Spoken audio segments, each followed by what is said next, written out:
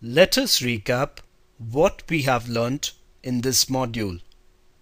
In this module, we took a look at the role of a buyer in the retailer's organization. Here are the six major roles of the buyer. It begins with choosing the appropriate items for the category in the retailer's store. Since a retailer can keep only a limited number of items for different categories at the store, the buyer has to ensure that the item that he chooses are the best selling items for that retailer. Once the buyer has identified the item, he chooses the appropriate vendor for that item. Here, he makes a choice whether he wants to buy a national brand for that item or make his own private brand.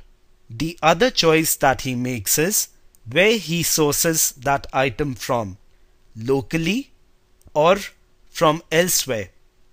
Once he's chosen the vendor, he negotiates the costs and the different trade terms with that supplier and based on that and based on that and his competitors sets a price for that item and keeps it at the store.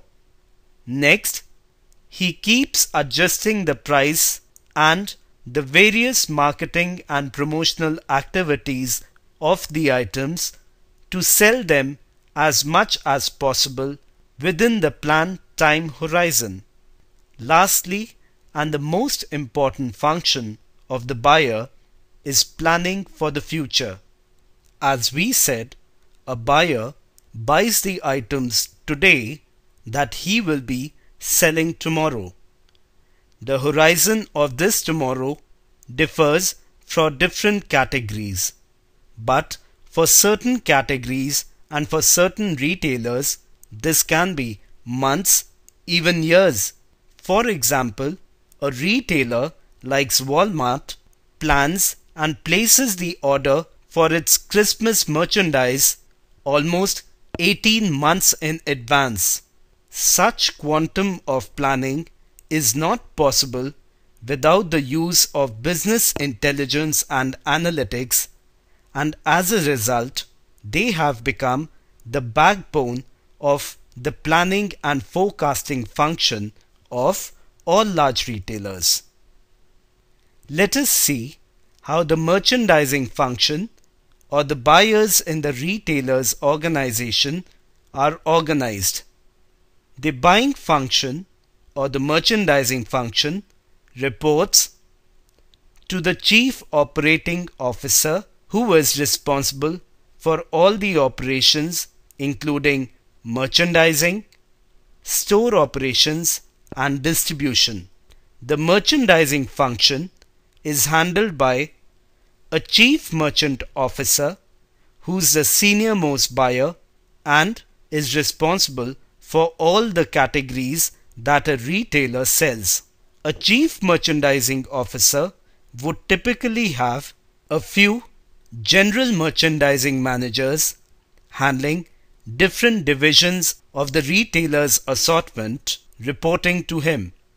For example, in this case, the retailer has divided his assortment into food categories and non-food categories and has two GMMs for the same.